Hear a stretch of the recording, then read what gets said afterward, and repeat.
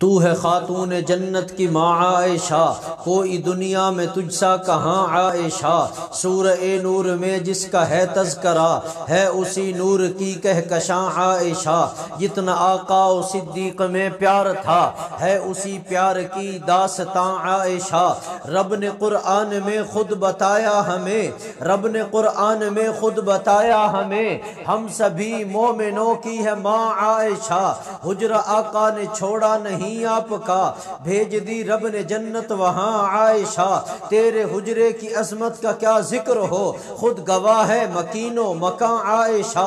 तो जिस मका में कभी मकी थी, खुदा ने जन्नत उसे बना दिया है। तो जिस मका में कभी मकी थी, खुदा ने जन्नत उसे बना दिया है। बना के जन्नत खुदा ने उसमें हबीब अपना सुला दिया है। आठ मार्च को औरत मार्च के नाम पर जो जुलूस निकाला गया, बेगैरती का जुलूस निकाला गया, बेहयाई का जुलूस निकाला गया, ईमान का जनाजा निकाला गया। ये वो लोग थे। हम ये समझते हैं कि इनका मुसलमानों से कोई ताल्लुक़ नहीं।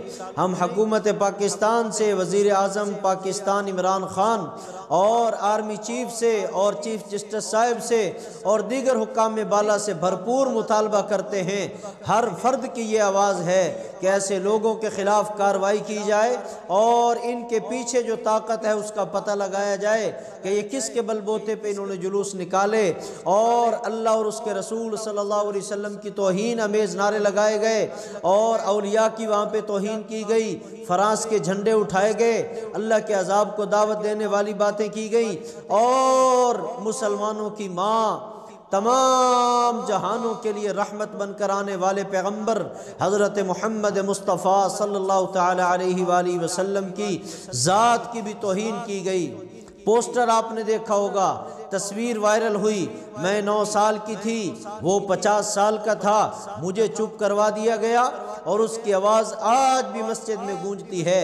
ये दर हकीकत हुजूर सल्लल्लाहु अलैहि वसल्लम और हज़रत आयशा रज़ी अल्लाह तहा के निकाह के ऊपर बात की गई है। क्योंकि जब हज़रत आयशा की रुखसती हुई तो हज़रत आयशा की उम्र नौ साल थी और हुजूर सलाम की उम्र पचास साल की थी। तो ये इस पर अटैक किया गया है। ये बताने की कोशिश की गई कि शायद हज़रत आयशा इस निकाह पे खुश नहीं थी और उनको सारी ज़िंदगी ज़बरदस्ती का निकाह कबूल करना पड़ा। लेकिन मैं दावे से कहता हूँ कि हज़रत आयशा को जो हजूर सलाम के साथ नौ साल की रफाकत मिली है आपने हुजूर की जोजियत में नौ साल का अरसा गुजारा है।